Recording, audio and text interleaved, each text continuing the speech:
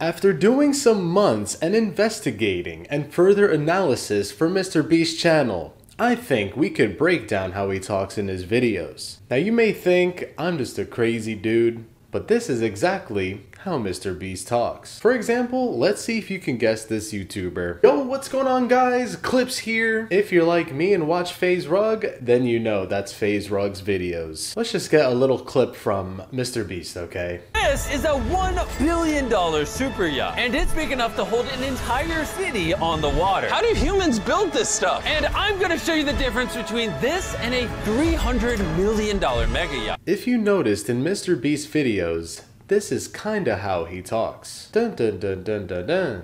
Dun dun dun dun dun dun dun. Dun dun dun dun dun dun dun dun. Dun dun dun dun dun dun dun. Yeah, this is probably the weirdest video we've ever recorded. But I know I'm right, and it's true, because that's exactly how Mr. Beast talks. Let's put together two different sentences, one in my regular style, and another one in Mr. Beast's. So I went to the park to go fishing. So I went to the park to go fishing. I'm really hoping this video makes a little bit of sense. It all really comes down to tone of voice and the execution. If you're learning anything from this video, make sure to leave a like.